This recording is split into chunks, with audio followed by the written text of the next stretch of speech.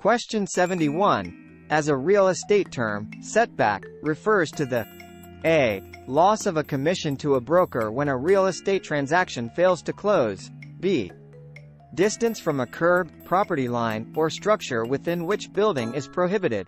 C. Distance between the front of a property and the street. D. None of the above. Correct answer is B. Distance from a curb, property line, or structure within which building is prohibited. Setback are building restrictions imposed on property owners created by governments through ordinances and building codes. Usually for reasons of public policy such as aesthetic concerns and safeguarding the environment. There are front, rear and side setbacks in most areas.